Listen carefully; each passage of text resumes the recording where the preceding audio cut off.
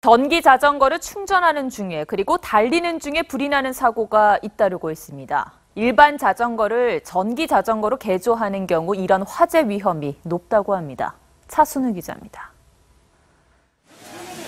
창문 사이로 연기가 뿜어져 나옵니다.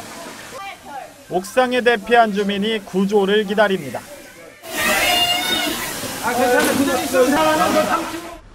방 안에서 전기 자전거 배터리를 충전하던 중 불이 났습니다.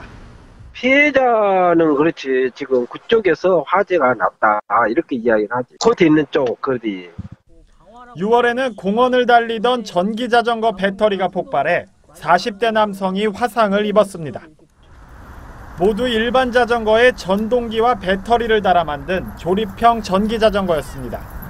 일반 자전거에 모터와 배터리만 설치하면 이렇게 전기 자전거로 개조할 수 있는데 속도와 중량을 제외하고는 별다른 제한 규정이 없다 보니 화재 위험에 쉽게 노출됩니다.